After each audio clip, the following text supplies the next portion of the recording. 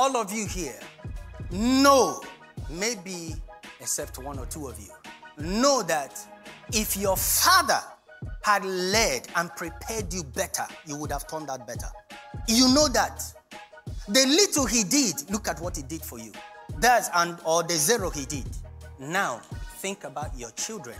If you can choose as a man, I'm going to be a man of God in my house. I'm going to lead my wife. I'm going to lead my children. I will not shy away from it.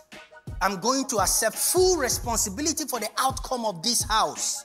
My wife fails, that's my failure. My children fail, that's my failure.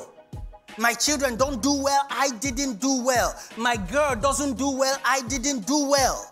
My son doesn't do well, I didn't do well.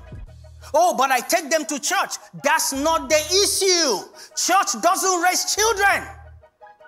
But I put them in a good school. That's what I'm talking about. Schools don't raise children. Fathers raise children.